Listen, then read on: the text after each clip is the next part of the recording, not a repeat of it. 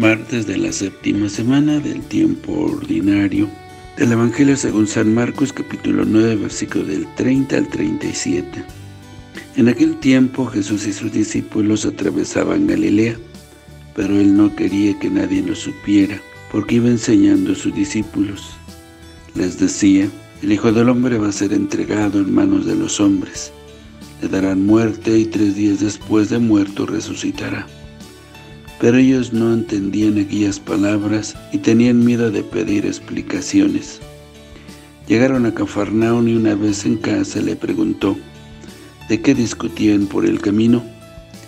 Pero ellos se quedaron callados porque en el camino habían discutido sobre quién de ellos era el más importante. Entonces Jesús se sentó, llamó a los doce y les dijo, si alguno quiere ser el primero, que sea el último de todos y el servidor de todos. Después tomando un niño, lo puso en medio de ellos, lo abrazó y les dijo, El que recibe en mi nombre uno de estos niños, a mí me recibe. Y el que me recibe a mí, no me recibe a mí, sino a aquel que me ha enviado. Palabra del Señor. Gloria a ti, Señor Jesús. Camino a Jerusalén, Jesús anuncia por segunda vez a sus discípulos su pasión y su muerte, para irles educando en lo que significa ser seguidor suyo. Pero tampoco esta vez parecen muy dispuestos a ello a entender lo que les está queriendo decir. Lo que les preocupa y de eso discuten en el camino es quién será el más importante. ¿Cómo van a entender que se les hable de cruz y de muerte? Jesús ya en casa, tranquilos, les da una lección para que vayan corrigiendo sus miras. Si alguno quiere ser el primero, que sea el último de todos y el servidor de todos. Y pone a un niño en medio de ellos y les dice, el que recibe en mi nombre a uno de estos niños, a mí me recibe. Y el que me recibe a mí, no me recibe a mí, sino aquel que me ha enviado precisamente a un niño que en el ambiente social de entonces era más bien marginado en la, de la sociedad y poco valorado. Ellos siguen pensando como los hombres y no según el plan de Dios. Aún les falta fe y oración. No desaprovechemos este día que Dios nos regala para descubrir el gozo de servir a los demás y de usar nuestra posesión para beneficio de los que dependen de nosotros.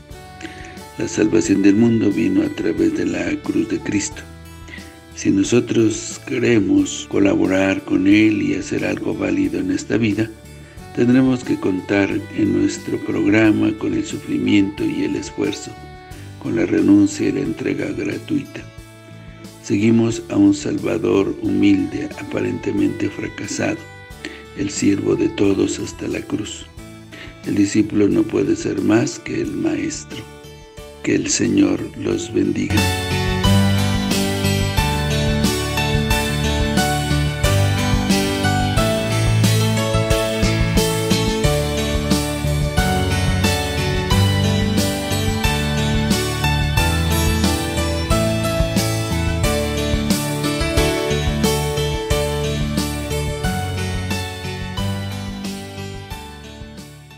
La bendición de Dios Todopoderoso, Padre, Hijo y Espíritu Santo, descienda sobre ustedes, que los acompañe siempre. Que el Señor los bendiga. Si te gustó este video y deseas seguir recibiendo el Evangelio, misa en vivo, oraciones y muchas reflexiones más, ayúdanos a seguir creciendo. Suscríbete a este canal de YouTube. Activa la campana de notificaciones. Deja tu comentario. Dale me gusta. Y compártelo con todos tus seres queridos. Que el Señor te bendiga a ti y a toda tu familia. Bendiciones.